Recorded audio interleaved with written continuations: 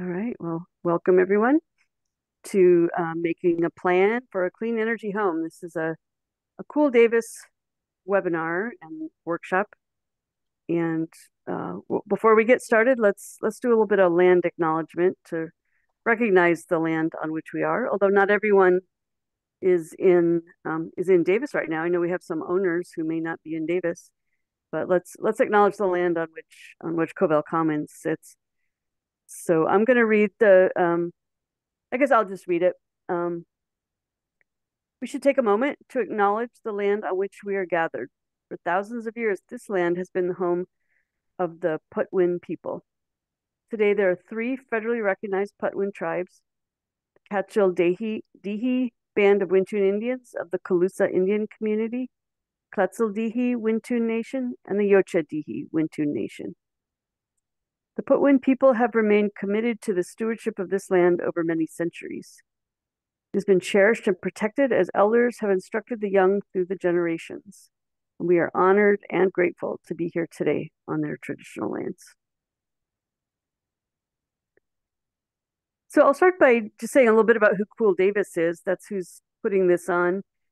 Um, cool Davis is a, a nonprofit organization, community or community-based organization here located here in Davis, but serving the whole region. Uh, it's a nonprofit that serves the community. Uh, the mission statement is envisioning a climate resilient region where everyone has equitable access to resources for sustainable, healthy lives. And you can kind of see some work in the community in these photos. Uh, one of our the biggest things that we do the, the way we live out that mission statement is engaging with households to take action not just talking about stuff but really figuring out where we need to be engaging with people to help them to actually take action. Is that education? Is that motivation? Is that um, community to kind of share stories? Um, a lot of different ways to really engage with households to make sure that we take action. And i am on the board of directors of cool davis. Um, and I um, I live at Covell Commons. See down at the bottom some of the things that are in the scope of Cool Davis. We don't just deal with energy, that's the part that I'm the most interested in, but we deal with consumption, which includes things like water, waste, and plant based eating, things like that, as well as transportation, um, bicycle things, uh, carpooling, roads, parking, you know, the whole the whole range of things. Again, all of this is engaging with households to make sure that they take actions so that they can um, they can move towards a more sustainable living. And I'm gonna hopefully this will work. Uh, there's a little video that uh, that Cool Davis has prepared that talk about um, why we want to cultivate sustainable living. So I'm gonna try this. Let me know if you can't hear it. So let's ask some of our community members why it's important to get off natural gas. Our community has been setting goals for itself for decades related to its energy use. So we really have to accelerate our movement toward an all-electric economy. Yes, moving off of natural gas is absolutely critical for the city of Davis to meet its carbon neutrality targets in 2040. For our climate action goals and uh, personal quality of life, I think it's both important at the household and local level. And reduction in danger to citizens from moving away from natural gas. Um, and fossil fuels get used up over time and pollute our atmosphere. Fossil fuels kind of suck for the environment, and we have the ability to use electricity instead much less noisy communities by moving to electric vehicles, solving the significant problem of climate change and preserving the earth for our future generations. We need to be moving towards a sustainable future and I want my baby to know that and to um, and to be part of that solution. Everything that we can do as Cool Davis to provide people with information, get us all off natural gas eventually, be able to do our part for our region, for our state, for our country, for this planet.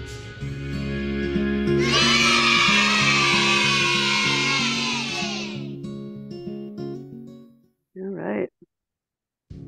Oops. So that gives a little bit of an overview of, um, from a lot of different perspectives about why we want to move towards a, a cleaner, more sustainable future. And the focus here, of course, is on clean energy homes. And so this slide talks a little bit about what is a clean energy home.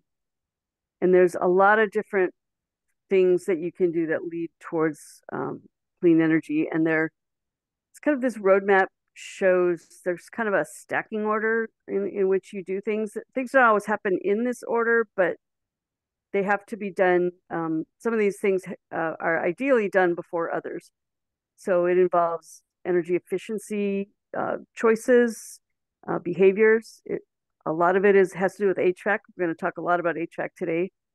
And if you can you know, deal with some of the other choices and behaviors, you can downsize your HVAC. Also choosing electric. We'll talk about that a lot.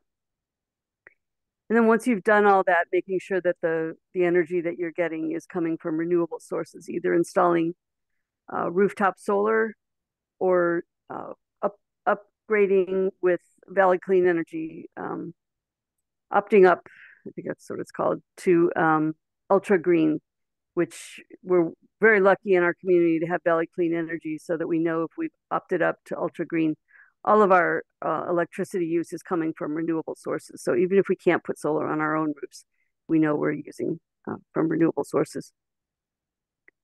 So the kinds of things that we're going to be talking about today are the, uh, I'll talk a little bit about water heating and HVAC, heating, ventilating, air conditioning systems, uh, sizing, and making sure they come from electric sources. And then of course, talking about the panel implications, because I think we're all finding that once we make the choice to make these changes, we have to look at our panels. Um, a lot of folks here are thinking about changing their panels for safety reasons, and you really need to be thinking about some of these other choices so you don't you know get down further down the road and kind of wish you'd made a different choice uh, on your panel. So those are the kind of things we'll be talking about. So if you want to make your home a little bit more of a clean energy home, where do you start? You know, a, a great place to start is getting an audit. Uh, can be done by an HVAC contractor or home performance contractor.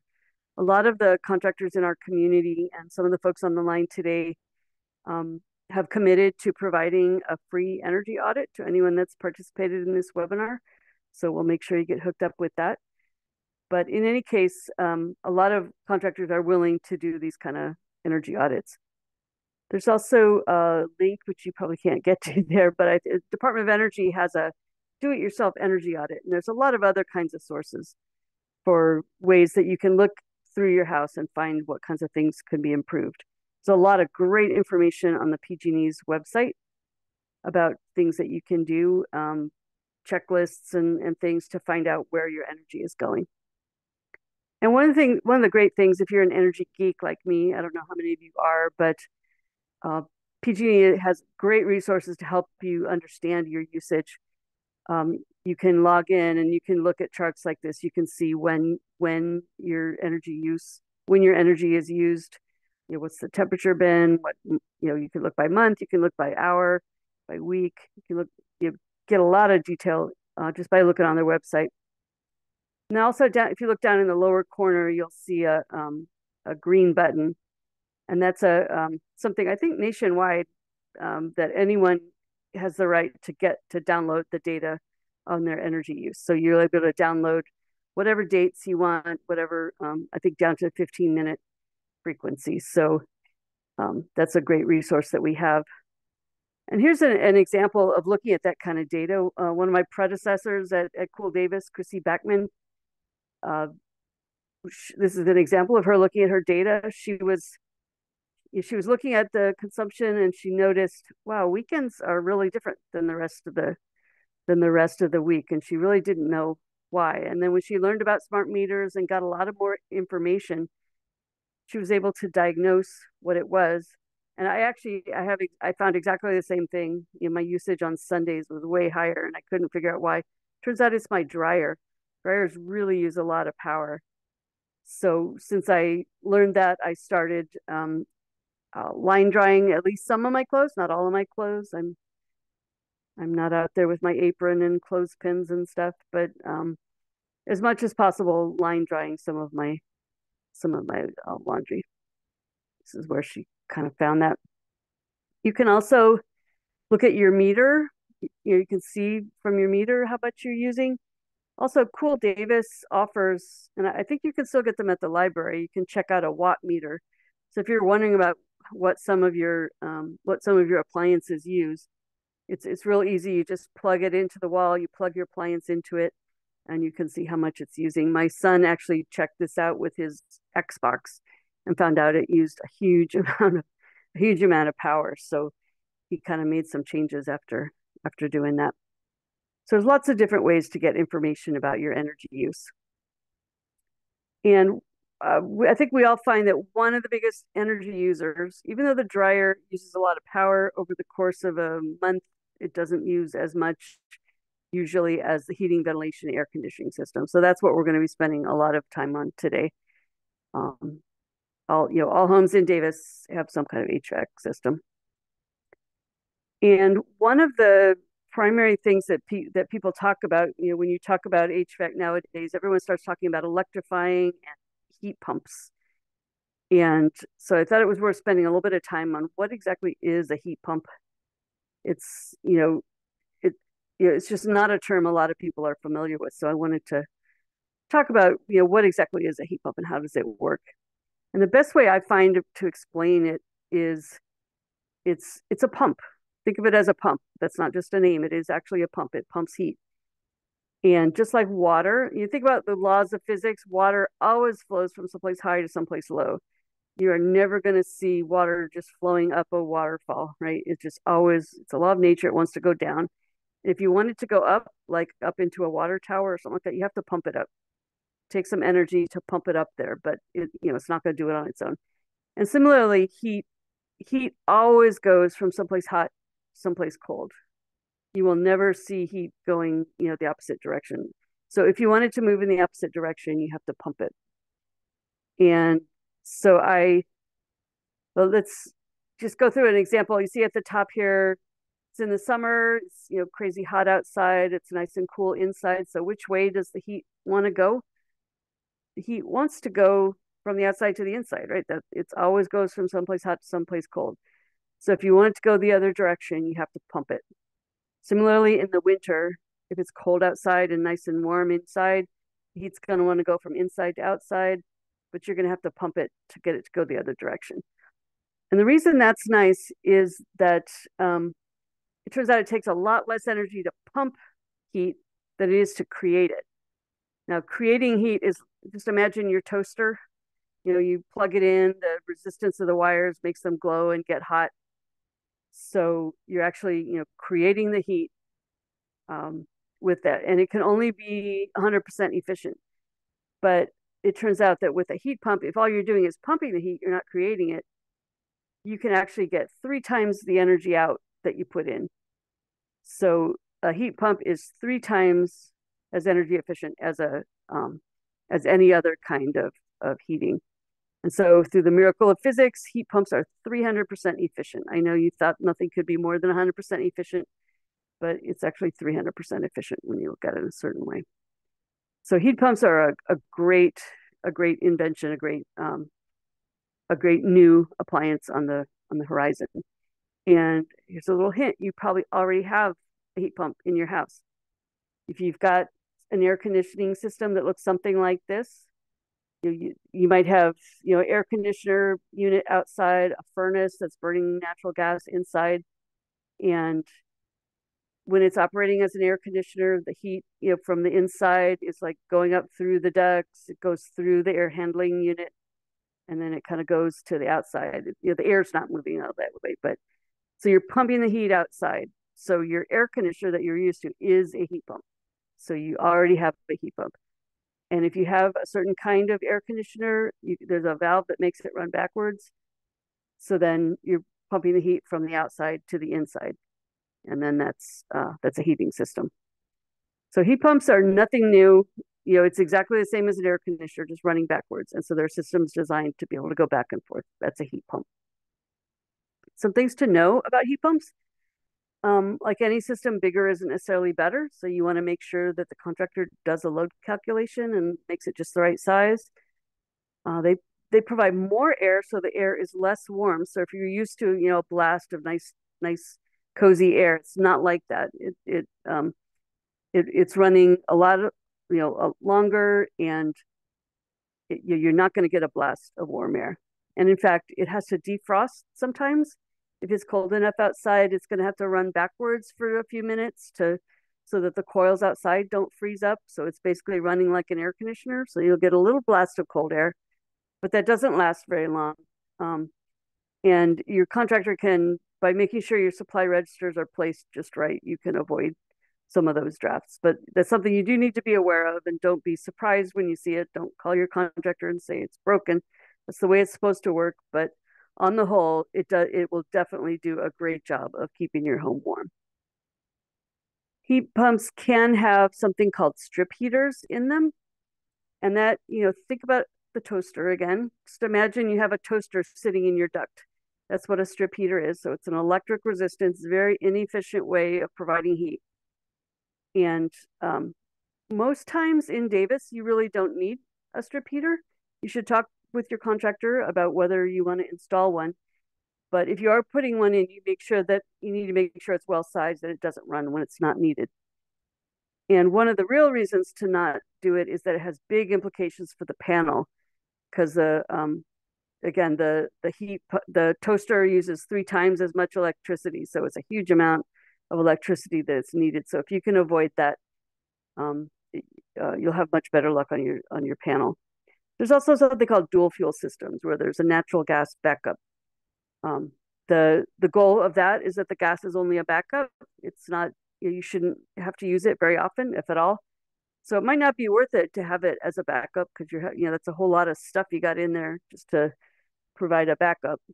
But those kind of systems are available. Um, I'm gonna have to zip through some of these things. Um, I'm not going to focus too much on this, but there's a lot of different parts of the HVAC system that you uh, really should pay attention to. There's ducts, you know if you don't if ducts are leaking ducts can leak 30 40 percent. You know you spend all this effort heating and cooling air and then it just gets leaked out and you don't even get to benefit from it. So that's a huge problem. So it's really important to make sure that the ducts aren't leaking. They're well insulated.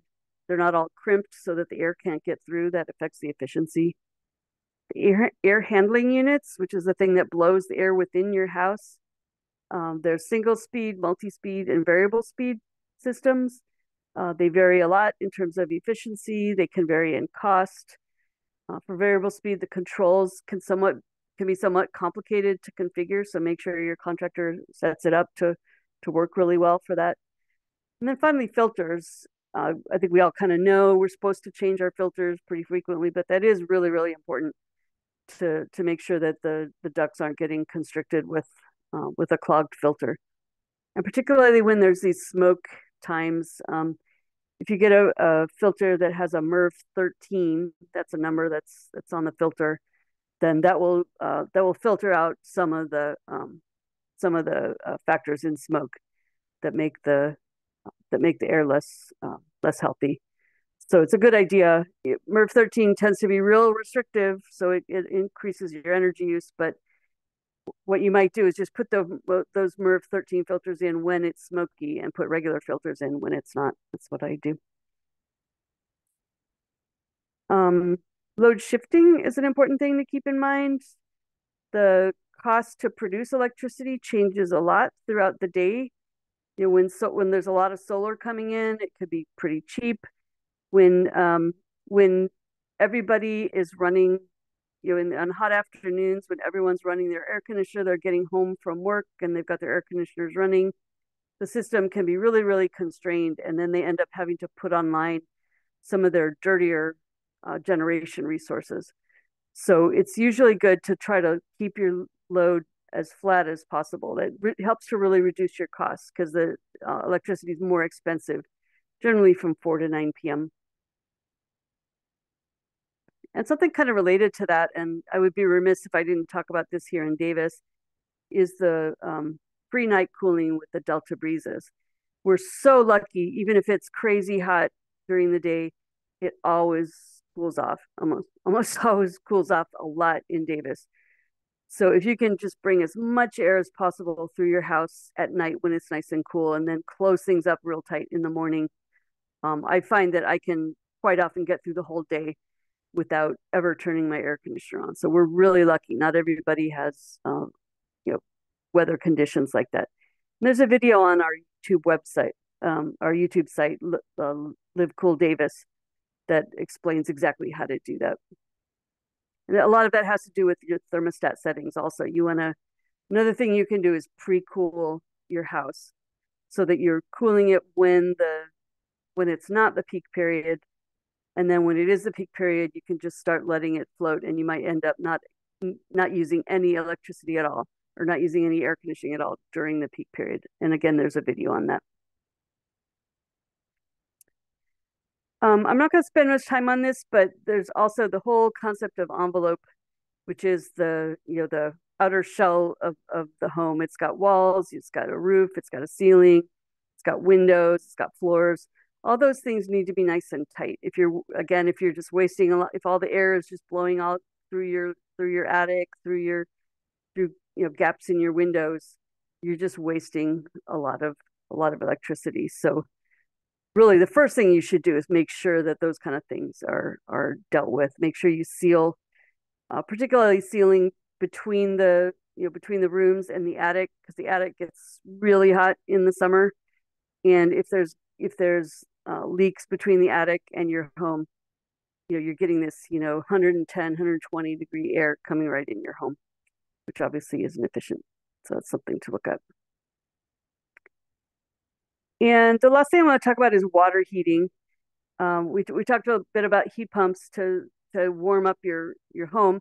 They can also be used to heat water. So that's um, another electric end use that you're going to think about there's two different kinds. There's kind of a normal one, and then there's a hybrid heat pump water heater that includes electric resistance heating. You know, think about the toaster again. It's you know you don't have a toaster in your water heater, but it's that same idea that you've got these heating very very inefficient heating elements that are heating up your water just in case you you're lacking the capacity. And so if you have a hybrid water heater, um, it might increase your bills if you're if it's relying on it very often. It dramatically increases the power requirements. You usually need 200, uh, 240 volts, you know, a lot of amps to provide all that heating. Um, and often you can you can avoid that uh, in particular by upsizing the tank a little bit. If you have a nice big tank that has you know a lot of hot water in it, if if it's a really cold night, then when when you're not getting a lot of capacity, you might be able to slide through it if you have a big enough tank. So something to talk with your contractor about. Another thing to keep in mind is that the heat pump water heater gives off cold air like any heat pump. It's basically, remember, it's like an air conditioner running backwards. So it's like pumping cold air out the back end. But if that's in a closet, if you're, I know mine here at Covell Commons is in a closet. And if you, if it's not well ventilated, it's going to get really cold in that closet. And the efficiency really drops off if the system is trying to reject heat into a really cold um, into a really cold or gather heat from a really cold closet. So you want to make sure that it's really well well ventilated. Sometimes ducted, you know, with a fan, or sometimes just having uh, nice big louvers are enough. And finally, you need to think about the power requirements. This is um, heat pump water heaters are one of the biggest challenges to electrification because it's kind of a new load that you're adding, and I'll, I'll talk about that in a minute. So electrification. What exactly is electrification? Um, essentially, electrification means replacing fossil fuel appliances with electric appliances. Pretty straightforward. Uh, fossil fuels, a lot of reasons for doing that. Uh, fossil fuels obviously are, are a big contributor to climate change. Once you burn natural gas, there's no way to kind of undo that. Uh, there's um, so you know if you want to avoid burning fossil fuels, the only way to do that really is by going electric. Uh, electricity can be produced with natural gas or coal or whatever, and so you know that's not the greatest, but it can be produced without burning fossil fuels with you know rooftop solar or opting up to ultra green. So it's really important where the power comes from. But if you if you don't use electric, you will not ever be able to avoid natural gas. So if you want to avoid fossil fuels, you have to electrify. And that's really um, the city of Davis has real strong goals, and California, and the world really has a lot of goals for getting away from fossil fuels. So the only way to do that is by electrification. Uh, electricity can also be much more efficient. I just talked about, you know, three times as efficient compared to uh, furnaces and water heating. And another really, really important reason is to remove combustion from your home. You know, it's kind of crazy when you think about it. You know, we're basically burning little bonfires in our houses. Um, you know, obviously, you know, the systems are, you know, control things pretty well, but there's always a concern about carbon monoxide uh, from your uh, from your furnace, from your water heater, from your natural gas stove. You know, all these things give off carbon monoxide, and there's a potential you know great potential for for health problems from from um, from the combustion of natural gas. And so you know electrification just completely removes that combustion. You know it's happening at a power plant. If it is burning natural gas it's happening at a power plant where they can control that um, that emission. So it's not uh, it's not uh, impacting um, health as much. And one nice thing to to something i hadn't even really thought about is that when I had some other work done on my house and they the they were going to require me to put in a carbon monoxide sensor and I said wait a minute I don't have any combustion appliances so I don't need a carbon monoxide sensor. Every other home needs a you know a, a needs a carbon monoxide alarm but if you don't have any combustion appliances you don't need one inside. I still have a water heater but that's outside. So that you know there's really big impacts of on health. So how do you electrify? Um, the you know, the whole title of this this webinar is making a plan. To, so you're not going to just go and do it all at one time. That's that would be a huge project. You'd have to really be saving up a lot of money for it. So it, it's a really good idea to start start small. You plan your your process, and what it's going to uh, consist of is replacing your HVAC, replacing your furnace with a heat pump, replacing your gas water heater with a heat pump water heater, replacing your cooktop. If you have a natural gas cooktop, replacing it with an induction unit, which is as responsive as gas. I'm not a real foodie, but I know a lot of other people, you know, a lot of cooks would never consider using a, a electric cooking but then they found that using an induction cooktop is just as controllable as natural gas and they a lot of people really like it I, I have an electric resistance cooktop in my house, so you know I'm, I'm all electric there, but um, you know, and it doesn't, you know, I boil water, so it really doesn't matter. But anyone that's really interested in cooking probably will want an induction cooktop. Dryer, you know, needs to be electric. Um, there's uh, heat pump dryers that are available. And then finally, your car, you know, it's not really an appliance, but if you're burning gasoline, yeah, that's the same as burning other kinds of fossil fuels. So if you can go to an electric car and have an EV charger, um, that's electrification. So you need to be planning for this when you're replacing electric panel. So I think it's important to keep in mind that your next appliance replacement will probably be electric. You know, a lot of people are like, hmm, do I really want to go electric? You know, natural gas, you know, a lot of policies are moving in the direction where it's going to be harder and harder to get and harder and harder to be allowed to install natural gas appliances in homes in California and elsewhere. There's, you know, internationally, of course, uh, there's federal tax incentives that are going to make it much, you know, much harder to put in a natural gas uh, system. State building code is moving towards all electric and then local ordinances, you know, Davis and Yolo counties climate action adaptation plans are, you know, pointing are showing the roadmap for how we're going to get to all electric homes. Uh, I know there have been some ordinances in other cities, like I think Portland and Berkeley, where they were, you know, not allowing putting in natural gas, and those have been in the courts. I don't know where they're at lately, but I think the writing is on the wall that you know a few years down the road you are going to be putting in electric so you need to be thinking about that now as you're making other kinds of other kinds of choices um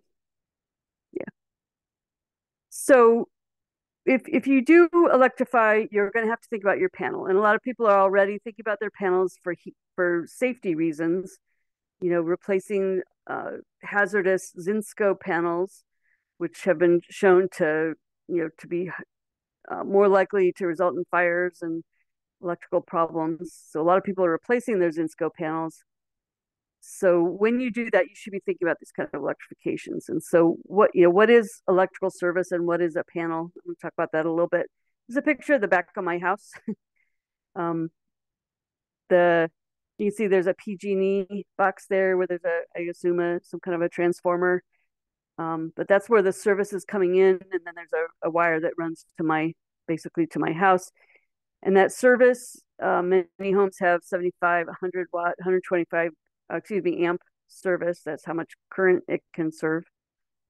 Uh, if you need to get a higher service, more amps, that could be a very expensive undertaking. It may require trenching, you know, digging, you know, to run a new wire, some kind of transformer upgrades, support from PG&E. Um, that is definitely doable, but that really adds to the cost. So if there's any way to avoid having to do that, um, it's it's it's good to try to find ways to do that. There may many homes may find that they're going to have to do that, and that ends up with a, a lot of delays. It can take a really long time, and again, very costly. But um, it's good to start thinking about this now because you don't want to make one change and then find out later on you're going to have to make another change. So bite the bullet and do it now. Um, and that from that service, then it feeds the main panel. This is the main panel. You can see my heat pump down there, and the panel is just above it. And so that's where all the power comes into my house, and then it feeds the air conditioner there. And then there's another circuit that's going into my house. And then you see in my house there above my dryer there, I've got my electrical panel. That's a sub panel, and that has circuits for all the different end uses. And this is one where you can see this is a Zinsco panel. So I'm going to have to replace that Zinsco panel. Um, but so I'll, I'll talk in a minute about uh, sort of how, how to figure out what, what kind of size you need for these things. But your, uh, your HVAC contractor, uh, your electrical contractor should be able to help you a lot. Uh, you need to let them know I'm planning for this in the future. Maybe I'm not doing it now, but I want you to know I'm going to be adding this stuff later. So make sure that I'm going to have the capacity for what I'm going to be adding later. Um, so to, to figure out how much of a panel you need, this shows the city of Davis. They have a worksheet where you kind of, and again, your electrician will fill all this out for you. You don't have to do this, but this kind of shows what how the how they approach it. You add up all your different uh, end uses. That NPR is the nameplate rating uh, it's basically, you know, it's a nameplate on the unit, or you can look at the how big the breaker is and, and do a little bit of math. But you add up all this stuff, and then it, at the end it tells you whether or not you can fit it all in the with the service that you have. I have a 100 amp service, so you'd have to add that up and make sure it's less than 100. If that doesn't work, there is also an alternative way of doing it, which is to look at your uh, PG&E energy use and to show the most that my home has ever used is this many watts. And so ba- basing it on that rather than just adding up all these nameplates, looking at how much has it used in the past. So I, I don't actually know the details on how that works, but your electrician should be able to, to, to look at that. So if the first weight method doesn't quite work, doesn't get you um, the you know the level of service that you're you're going to need, then that that is an option. So you'll want to look at that.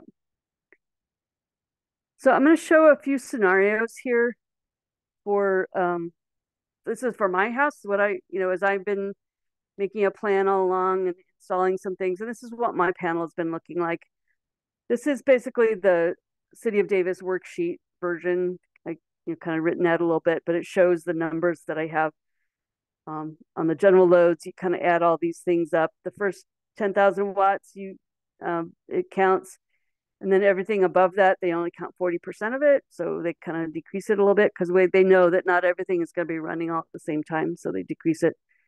And then the, the hvac and electric vehicle side you just add all that up add these two numbers together get the total watts divided by 240 it tells you how many amps. So that, that was my home a couple years ago. This is what i have. So you see the the range? Is a huge that was the hugest one uh, the clothes dryer you know, is the second largest. So those are two huge end uses. And, you know, I don't, they don't use that much energy over the course of the year, but when they're running, they use a lot. And that's what the panel is based on. So I had 89 amps. So that's well within my 100 amp service. So a couple years ago, um, I installed a heat pump. So I wanted to see, hey, can I install a heat pump? And It turns out that a heat pump, like I said, it's basically an air conditioner backwards. So since I already had an air conditioner, it didn't really impact my panel size very much. I, I can do a heat pump with pretty close to the same um, wattage or amperage as a um, as the air conditioner. So it didn't impact things. So yeah, I was fine when I installed my heat pump. Then about a year ago, a little bit more than a year ago, I installed an EV charger. So we looked at my at this again.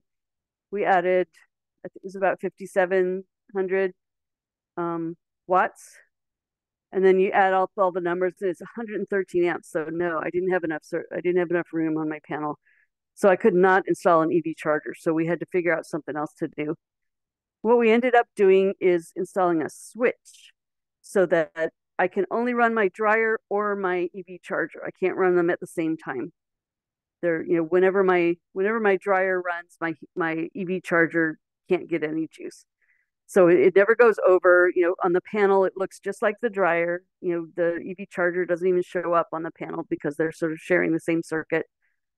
Um and so I was able to do that well again within my my total amperage. So I had no problem installing the EV charger so long as I used that switch.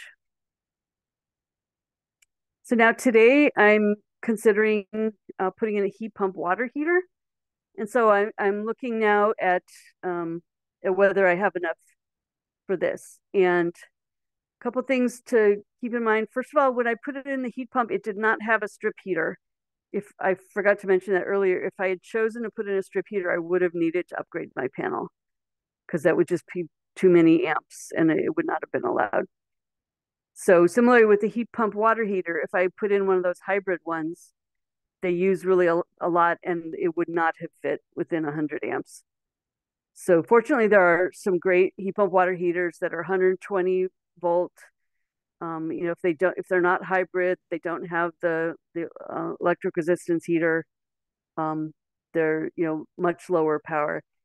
And so it looks like I am going to be able to do it without making any upgrades to my panel. I'm still going to have to replace the Zinsco, but I'll just replace it with a non-Zinsco panel of the same, pretty much the same size.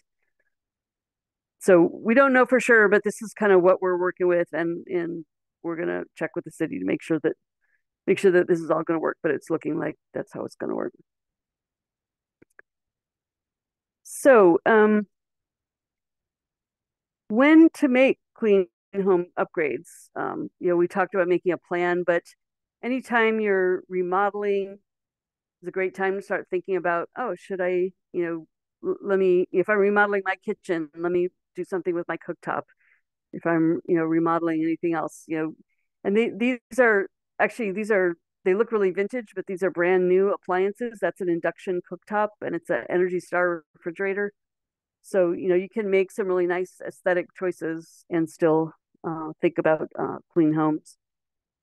Uh, if you're concerned about air quality, comfort, if your bills are high, those are all kind of good, uh, good times to start thinking about making changes. Is your system kind of on, on its last legs? Is it something that's going to be failing pretty soon? Um, you can stay ahead of that uh, by starting to plan to make a change. So if you do uh, decide to make a change, you're going to find that you're embarking on a home energy journey. I think any kind of home improvement, I'm sure you've, if you've had experience with home improvements, you know, you start out curious, excited, you get overwhelmed, you have doubt, you get relief when you find out that it's actually going to maybe work. You're kind of content with your choice. Then you're unsure because you hear about more options. You're happy, you're satisfied, you're frustrated. It's a roller coaster just like any other kinds of home improvements. But I think most people, you know, when they get through the end of this this project, you know, they'll end up happy that they've made the change. So one one thing I, I really want to encourage people is to have find other people that are going through this same journey and you know share your thoughts and you know encourage each other and keep yourselves moving and um, uh, really you know moving the projects forward. So making a plan is particularly important for HVAC. One of the things that you find is, you know, I know we have some HVAC contractors here. You know, a lot of times HVAC systems fail on the first really hot day of the year or the first really cold day of the year. And that's the day that you're going to call a contractor and say, "Oh my God, my system is dead. Please come and give me a new system." And they'll say, "I'll add you to the list, but you know we've got a lot of people that are asking for, they're asking for service now. So, um, really that day is not the day you want to be making these changes. You want to be making it uh, um, well ahead of time. And um, if you do, and if you do get them to come out, you're going to need something right away, right? Can't really do without heating, you know, when it's the middle, you know, when it's the beginning of a really cold snap. So you're going to get whatever's on the truck. So all this great planning that you're doing is going out the window. So it's it's really important to to deal with this ahead of that day. So if you have a plan, you can evaluate your options, get multiple bids, figure out financing options, um, do other kinds of energy efficiency improvements before, you know, fix those windows and stuff. So uh, seal your attic so you can get your system as small as possible and hopefully phase it, uh, phase the installation over time. One thing you're going to want to consider is how old is your system? If you've got a system, if you don't know, a lot of people don't really know. They moved into a house and it is what it is. And Cool Davis can provide you with a, a home energy report that will tell you how old your system is. You know, when was the last time a permit was pulled on it? And that'll help you make a, a decision. You know, talk with your contractor. How long do you think it's going to be before the system, you know, maybe doesn't operate effectively or as efficiently, and start making a plan to to change it. So working with contractors, uh, Cool Davis has a lot of great resources on the website to you know, worksheets and things like that with, to give you a lot of uh, pointers on how to work with contractors. But you know, the usual kinds of advice, shop around, make sure that you've got good communication with your contractor. The really important thing is not all contractors, you know, they're not mind readers. So if you don't tell them I'm really interested in high efficiency, you might not get the high efficiency choice or if you don't tell them I really want electric, they might not necessarily offer that as the first choice. So let them know that you want, you know, the, these better systems, and don't be afraid if they, if they do come and they tell you, you know, hey, I can, you know, give you the really ultra efficient system. It's going to cost more. Most, a lot of people are like, oh, that contractor, he's trying to sell me something. But if you can um, really, you know, communicate well and understand what the options are, uh, you'll end up with the right with the right system. Um, so, and one thing I really want to emphasize is contacting a contractor early. Even if you're not planning to make a change right now, it's good to have a relationship with contractors so that they can let you know when they have a really good deal, when there's some, um, when there's you know rebates and tax credits that are coming out. Um, you know, so you, you can be ready, you know, when when the opportune time comes along. Also, if you have a maintenance contract with a contractor, that will allow you to get priority service. So if you call them on that really hot day, you're going to be at the first of the line, front of the line uh, to get service. So it's a good idea to make a relationship with your contractor. And then, of course, the first question everyone always asks is, how am I going to pay for this? And I think the first thing to say is to think about the life cycle cost, not the initial cost. These things can be kind of pricey, but if you look over the life of that system and how much less it's going to cost you, um, you'll you know you can make a choice that will work best for you in the long run. Um, contract it's hard, really hard to stay on top of all the different rebates and tax credits, but your contractor should be able to help you with that because they they're in the business they know uh, they know these things. Some contractors offer financing to help. There's other sources of financing, look in particular with uh, credit unions and energy efficiency programs. And we also have some information on the Cool Davis website on on financing and how to um, how to pay for the system. So to kind of wrap things up, um, start making your plans now. So start looking at where and when you use energy. Get kind of familiar with what your situation is. Start talking to a contractor so that you'll know what the options are and you'll be able they'll they'll help alert you when the time might be right and can be ready to move when you know when there's stuff available and the prices are as low as possible. Talk with your friends and your neighbors and uh, get ideas, get you know, help support each other. Um, start saving up now. You know, I used to be people would buy things on layaway. You know, they would pay it off, pay it off, pay it off before they even received it. And nowadays we usually, you know, buy things and then pay for them, pay pay back for them. But if you know that this is coming down the pike, you know, you could start saving. That's, you know, that's obviously going to start, uh, going to lower your costs in the long run. And then finally, uh, start with baby steps if you need to. You know, just do some behavioral things. Look at your thermostat. Um, you know, make some, you know, make some easy choices. You know, to get started, to kind of build up some momentum, and um, uh, so make baby steps if you need to, but start today and start thinking about what can I do today to get myself on this path. I think yeah, so you're not going to be able to click on these links, but if you go to um, cooldavis.org, there's a um, cool solutions page that's got lots of resources, all this stuff that you see here. Uh, and also take a look at the at the YouTube channel that we have. It's got a lot of really great information. So you know, Cool Davis is here to help you with these uh, as you're embarking on on these kinds of projects. Um, that's that's our job. So Thank you very much. Um, I know we have some local contractors here and a, a lot of others within the community. Uh, I know several of them have offered to provide a free energy audit because you participated in this workshop. So ask you to take the post take the post survey. I think we have a pre and a post survey. Uh, Chris can let us know what the links are for those. Um, that'll help you to to get access to those free audits. But I think we have a little bit of time for some questions. And then uh, the plan is that at about 3.30, I'm going to have my door open. So um, I, you can come by and see my heat pump, see my EV charger, see the switch that I installed, see my Zinsco panel, you know, from a distance, don't touch it. danger, danger. Um, so, you know, you can see my natural gas water heater that I'm hopefully going to be replacing. But you can kind of see, you know, I've talked a little bit about my journey and you can kind of see what it all really looks like and kind of share thoughts with each other. And we'll have some experts there to help answer some questions. But I think if we have questions now, we have a few minutes now, we can have um, some questions and then stop by my house, 2137 Bella Casa. Yeah, Kristen, do you want to just introduce um, all of our experts that are here with us today? Yeah. Yeah. Great. Thanks. And it occurred to me, I don't think I introduced myself at the beginning, maybe. Um, I'm Kristen Heinemeier. I'm on the board of directors of Cool Davis. I work at Frontier Energy. I've been working on energy stuff for going on 40 years now, so I'm an energy person. Um, and I just see Danny's face now, so I'm going to introduce Danny. Is your name Danny Fox? I thought it was. Yep. Uh, D- okay. Danny Fox Alberson. Yes. Okay, that's it. Right. Uh, and he's with Greiner.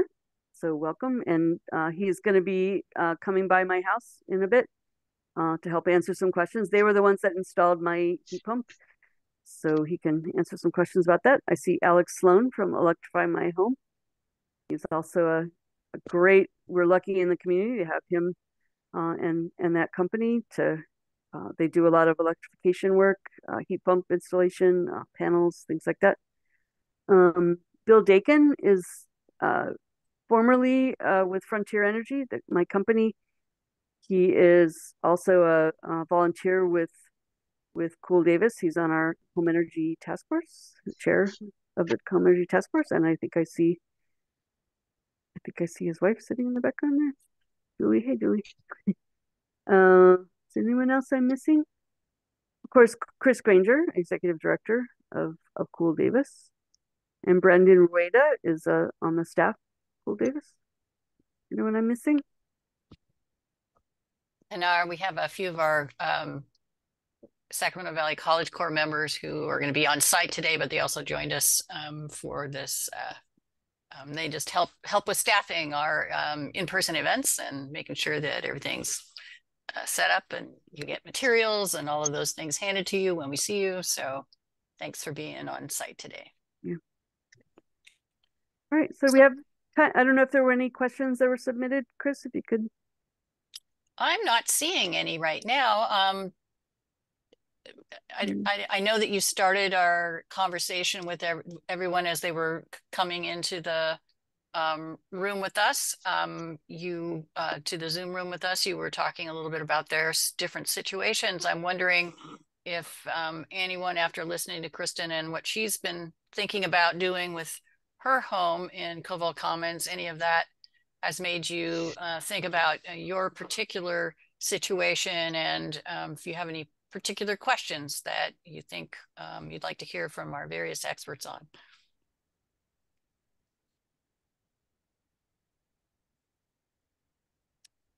And you can go ahead and unmute and just and um, and uh, you know um, also um, turn on your video if you'd like.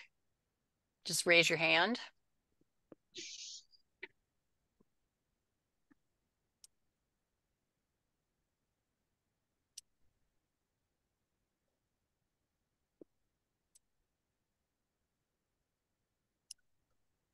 Let's see. Um, so we still have uh, Dan. I think a few of our um, participants have already uh, exited. Um, Dan and Jim, or I'm not sure how to uh, pronounce your name, Yushao.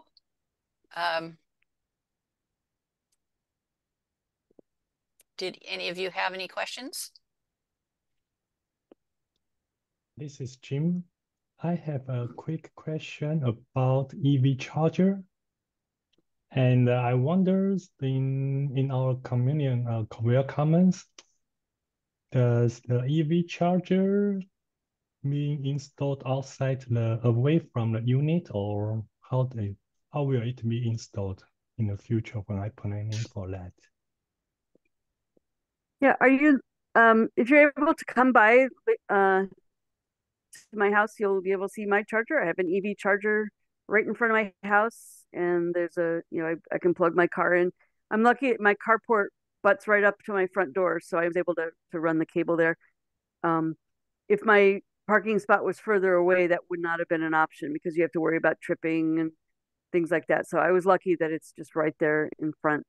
Um, so you know, it definitely can be done, but it, you know, not all, um, you know, not all households uh, layout is is going to work for that. I know Dan. Uh, I don't know if you have anything that you want to say about. I know Covell Commons was thinking about installing some common chargers that that uh, different people can use. I don't know if that's moving forward. I know Dan is is on the board of the homeowner association. I know has been looking into that. I don't know if he's able to unmute, but um, that's something we can ask the homeowner association about because that that's a great option too.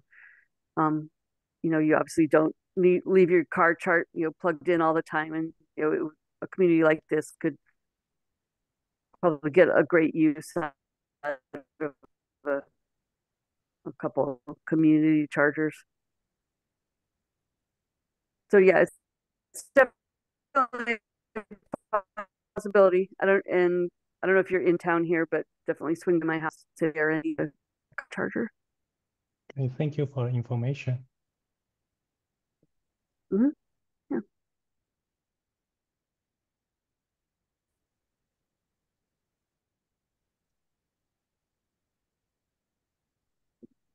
All right. Well, um, Kristen, I know you're gonna need to uh, um, run here soon. Um, any of our experts, um, we're this is a really interesting, uh, rather rapidly changing environment we're in um, with more and more people asking to um, install um, electric uh, appliances and electric heat pump appliances. I'm I'm curious as to um, uh, what you're seeing in terms of you know the number of people that are opt making these decisions right now with with their homes and um, and what kind of outcomes you're seeing for people is uh, um, uh, I think uh, there's historically been a lot of questions about whether we could do this and you hear all kinds of things in the you know out kind of generally in the news about you know worries about electrification but i'm i'm curious about your experience and and um, how happy your customers are right now. Yeah, I can uh, tell you for Greiner. So a couple years ago, you know, we were maybe doing about 10% of our installations as heat pumps. Uh, this last year is up to about 70%. So did about 400 um, heat pump installations, and that was taking out, you know, existing gas units and changing them to heat pumps. So uh, it has become the norm. Um, if it, it's it's the more common thing for people to do, um, it's gotten to the point where economically it just makes sense. Where in the past, um, one of the biggest worries we ran into was it was going to cost more to heat with electricity than it was for gas. But with PG&E's rapid increase of gas prices um, and also the rapid increase of efficiency in heat pumps, it's actually gone the other way now, where it's actually uh, less expensive to heat your home with a heat pump, like just dollars and cents wise. And so when people are replacing their systems, uh, just with a you know a few basic math calculations, we can show people that hey, this is actually going to save you money uh, and help to pay for this installation that a lot of times you have to do anyway because the system's old and needs to be replaced. Um, so yeah, the adoption has been huge. Um, customers for the most part are happy. I mean, it's really important. I think things like this are good because you do need to know the differences, you know, the like the defrost Kristen was talking about. You need to know those things. Uh, there are things that we do to help with that not only talk about in the beginning but try to put in like a small bank of heat strips like Kristen was talking about uh, just to help with defrost so there's things uh, talk to talk to your contractor talk to us if you're talking to Greiner and just you know make sure you know everything that's going to happen when you get that new heat pump but they are a great option and they heat homes very very well thanks danny anybody else want to comment uh, alex um, yeah, sure. So it, it it's interesting. Our um, customer segment's a bit different since we're a pretty specialized company. So we do 100% heat pumps and only electrification. The only thing we do with gas is put caps on the gas lines. And so the the questions and comments we get from our prospective customers are slightly different since a lot of folks are already bought into a certain extent.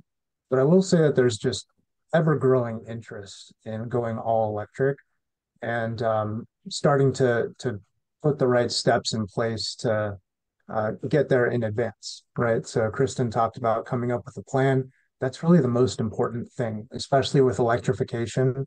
When it go when we when it comes down to just replacing an existing HVAC system with the same type of system, well, it's pretty simple. We can just take one out and put one a new one in. But if we want to go about electrifying the whole house, there's some really strategic decisions to make. And so we're getting more people coming in the door, uh, starting, you know, requesting to make those initial steps, which is great. And it's really important because you don't need to do everything all at once. You can take things at your own pace. Um, so yeah, the, what I'll mention about the outcomes of our customers, it, it's pretty, uh, pretty much the same across the board. Everyone comes out with a much more evenly uh, tempered house. So when you set up a right-sized heat pump that's running longer cycles at very low amounts of energy, your house almost gets uh, the radiant effect. So if you've ever heard of someone with radiant floors, for example, they like how their house is all the same temperature. Um, we can achieve that with a with a regular ducted mini split system. And so uh, customer satisfaction is always great. I will say the only times we usually get calls is when a customer forgot that initial consultation advice uh, that Danny was referring to. It's really important. Heat pumps work differently than a gas furnace. And so if you try to, uh, you know, turn it off and then turn it on in the morning and it's 30 degrees outside and your house is 50 degrees inside, it's going to take a long time to heat up. So that's the one thing that folks sometimes forget. So we recommend always keeping the setback on your thermostat um, as close as possible. And that's going to um, continue to make these much more comfortable. I know in um, when uh, Kristen was uh, talking about her situation, she was showing how she kind of moved through that decision making process, and you know, adding each new appliance along the way. And her her big one now is looking at um, is looking at a heat pump hot water system, and sometimes that last thing is the thing that can keep you from, um, you know, makes you look at whether or not you need a, a new panel. Um, and I know that Kristen is thinking about whether she might need a new smart panel, which is a new device which allows you to do more energy management. And I was hoping that maybe the two of you uh, might be able to, and um, Dan, Bill, um, might be able to uh, give us some thoughts on um, those new devices that are arriving and how to kind of do energy management, not just with our existing appliances, but also in some homes now we have solar, we have battery backup systems, and the smart devices are allowing us to do really interesting energy management. So could you speak to that? Um, I'd be happy to. Maybe Bill will give you the crack um, since we've talked already. Sure. Um, well, there are several options. Um, one is to what talk about what Kristen did, which is using a switched breaker, which you can do to if you've got loads that aren't going to um, occur at the same time. Um, like like the, the chance of using the dryer at, at the same time you're charging your electric vehicle is very unlikely in most situations. So that's a really good strategy and low cost.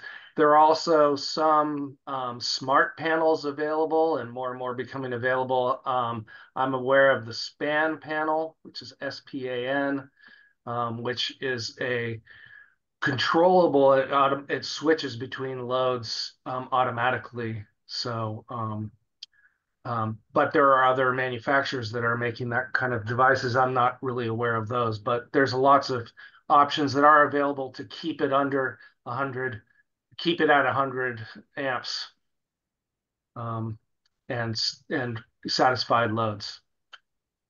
Also, the another yeah. option you don't have. Um, this is becoming more popular. If you have an electric dryer, you can also switch to a heat pump dryer. Um, I've had, I know several people who have done that recently and are happy with them. Um, so that's one way to reduce your load so on your dryer circuit.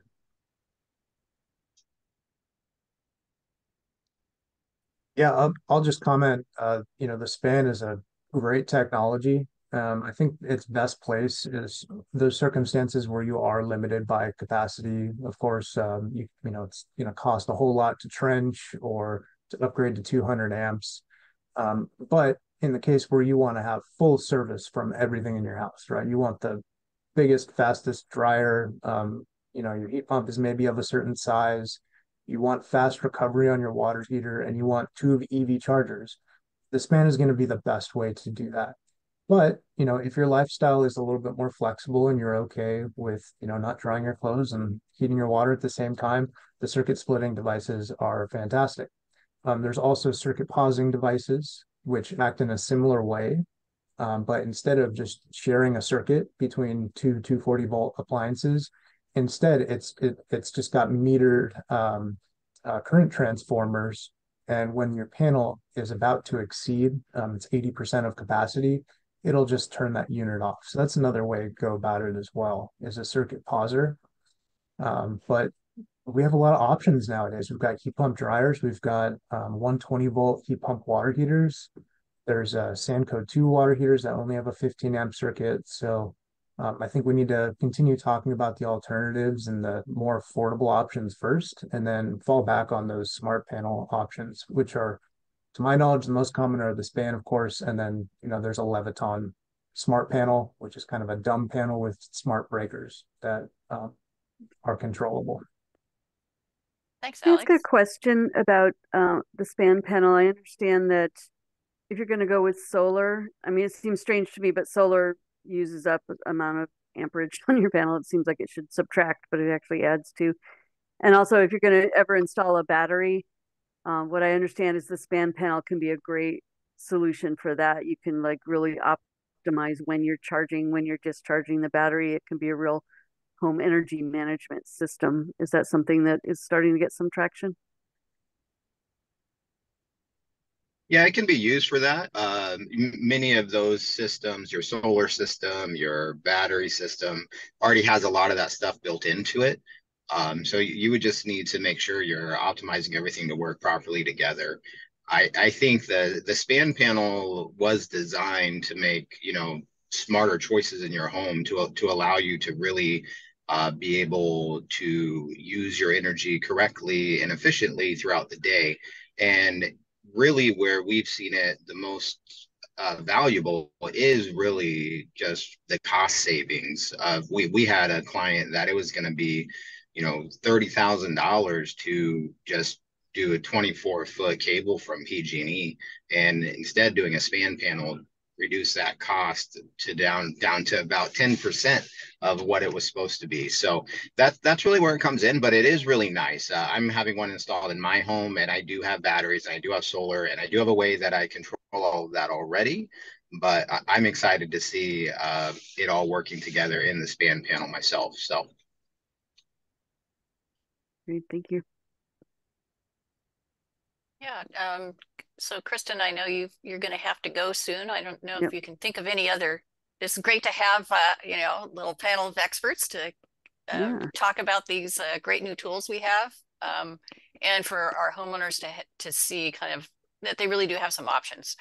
Um, you know, this this whole thing with the Zinsco panels in particular has been a nice little surprise to have, um, or not so much um, for our homeowners and to, um, to, so having some ideas about options for the future and uh, ways to think about this problem right now um, are um, it's been really helpful to have you all join us today. Yeah, thank you very much. And once again, anyone who's in the neighborhood, I'm at 2137 Bella Casa. I don't know if we're going to have this in the recording. Maybe take a but definitely swing by and you can see all my cool toys and I, I think Danny's going to be able to be here, uh, kind of explain some of the stuff that I've that I've got. I can certainly explain it too. So come on by. And our other staff will be on site. They'll have copies of our materials. Um, uh, so we'll send you those links afterwards as well. Um, and um, yeah, we are, we hope you can join us. Thank you very much. Great presentation. Thank you all. Thank you. Bye. Bye bye.